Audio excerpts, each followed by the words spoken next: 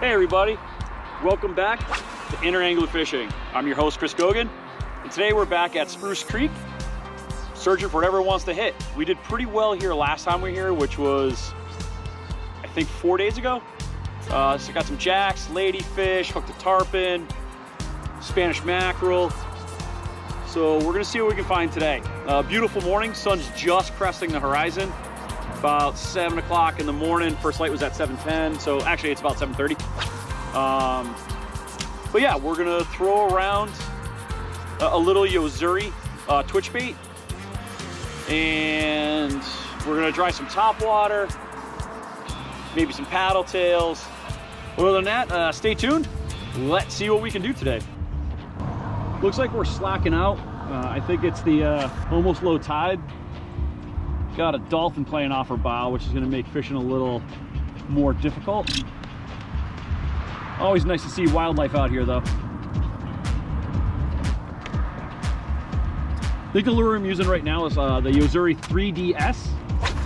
Real small bait. Um, you can either work it as a twitch bait or just a straight retrieve. It does have the little bill on the front. I'm hoping as the current picks up, the uh, mackerel move in. They like to work the bridge lines, shadow lines and whatnot in the bridges. Now we're pretty close to the new moon.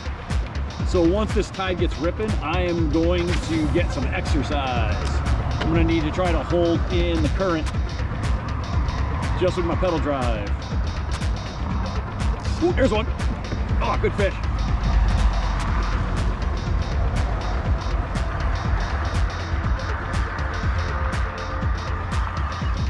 Good fish.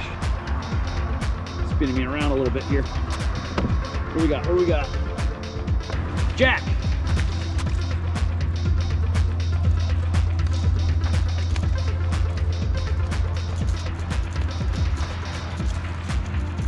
Come on. Slippery little bugger.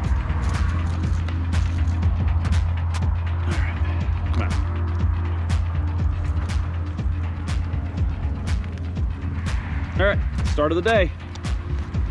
We're gonna keep a couple of these later. I'm not gonna keep them right now. I just got here. I plan on staying for several hours. A little on the early side to be keeping fish. I've mentioned it on uh, previous videos. Jacks have such a bad reputation.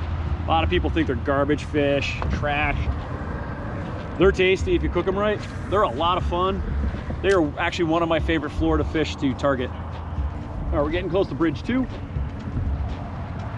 I'm seeing some fish jumping up here. I can't really tell what they are yet. Oop, almost instantly. There's the dolphin.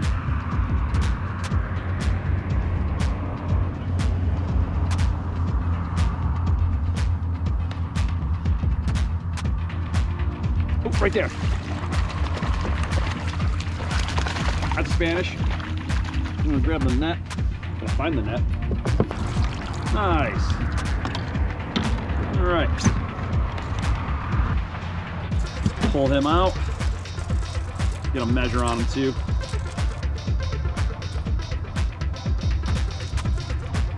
Looks like he might be a little on the small side. We might throw him back. We're not sure yet. Whoa. Self-release. Come here, buddy.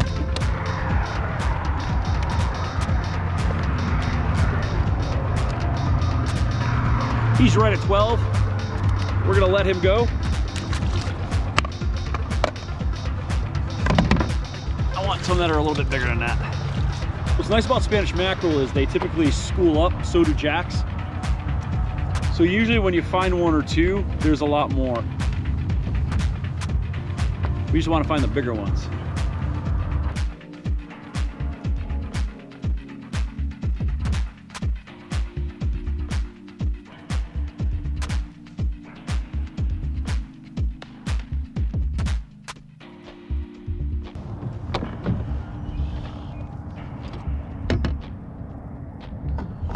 So I found a school of Spanish feeding in this current.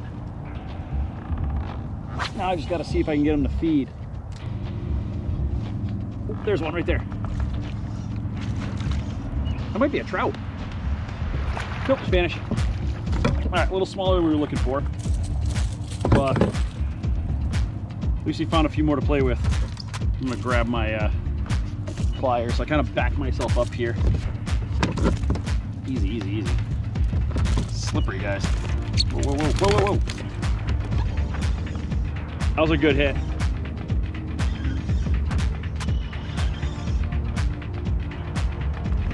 That's what we're looking for. Oh yeah.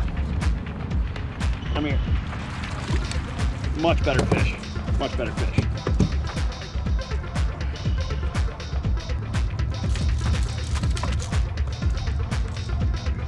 These guys thrash around a lot.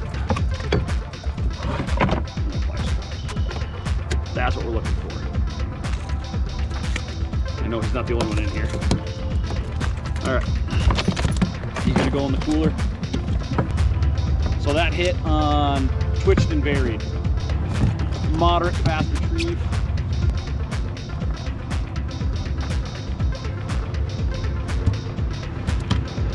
Here's one. Swimming right at me.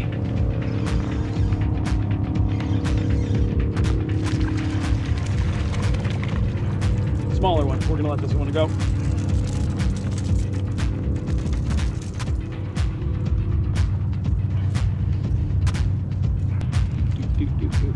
There we go. Back in the water. Spanish mackerel is just so much fun. Like I said, they school up, so you got plenty to play with. Find the right size and the right uh, delivery, and you can play with them for hours. Especially in a kayak, you can follow them around. Like if you're fishing the pier, like they'll come into Sebastian Inlet quite a bit. But uh, they'll come in and then they'll leave. Then they'll come in, and then they'll leave. They move around. And these guys are, uh, they're feeding right on the surface. They're probably eating little glass minnows. So I just gotta watch for the jumps and follow them around all morning if I want to. Ooh, that was a good hit. I backed up.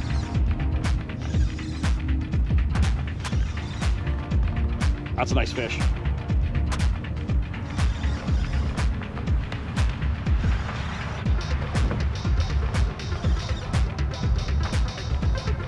Oh boy. I really hope that's a Spanish, not a jack. Yeah, it is. Oh ho ho. Yeah, buddy. Maybe hooked him in the side, but it's still a good sized fish. Oh yeah. Nope, back under the boat. Trick netting. Oh yeah. That's what we're looking for. Come on. But yeah, that's a nice Spanish. That's what.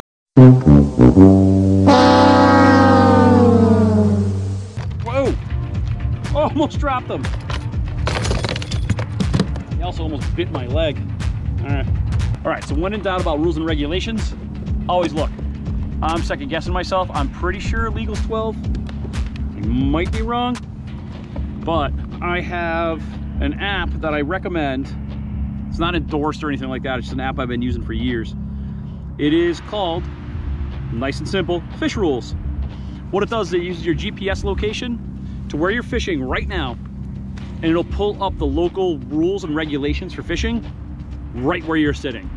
So especially in Florida where rules will change from county to county sometimes, uh, it's really nice to have. So I know wherever I'm sitting right now, it's gonna tell me exactly what I can and cannot keep. All right, so mackerel, comma, Spanish. Mackerel king, mackerel Spanish. I was right, bag limit is 15, scene is open, 12 inch minimum size inside of the fork. So the inside of the V of the fork is what I'm looking for. I was starting to second guess myself. Always be safe. Uh, the rules are there for a reason. It's so that we can fish for years to come. These fish aren't gonna go anywhere. They're not gonna get outfished, overfished. Uh, I know like down here, you know, there's been uh, times where, you know, you, oh, that was quick.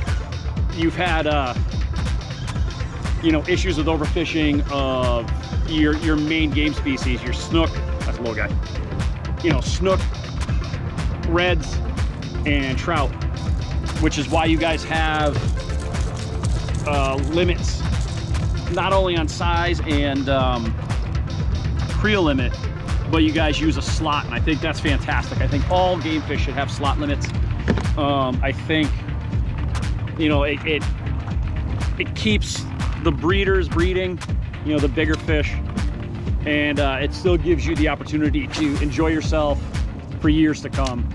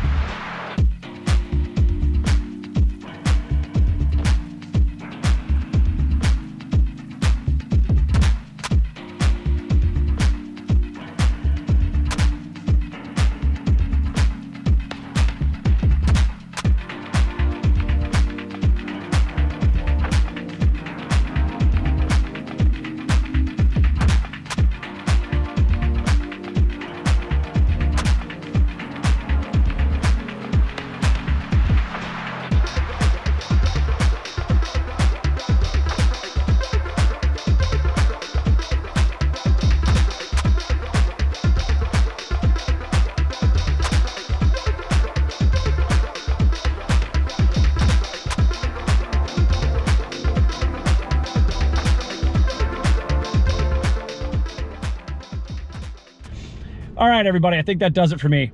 Great day out on the water, plenty of Spanish mackerel. I got a cooler full to go home and clean. Found plenty of jacks to play with. Uh, got into a real big one that towed me around a bit off camera. Sorry about that. We uh, Our batteries died. Um, but a great day. Uh, that Yo-Zuri 3DS is definitely a great lure. You can get them at Walmart. Uh, I'm sure uh, Dick's, uh, Bass Pro carry them. They're not expensive. Uh, if you're gonna go fishing for Spanish mackerel, definitely uh, recommend those.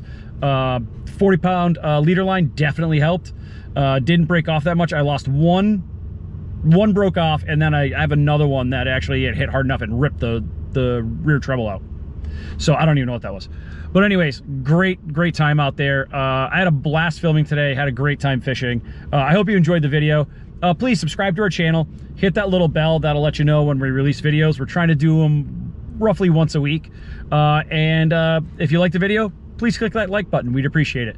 Uh, if you have any comments or questions, uh, leave them below. I'll get back to you as soon as I can. But other than that, I'm going to go get something to drink and get some food. So until next time, thanks for watching, and we'll see you soon. Bye-bye.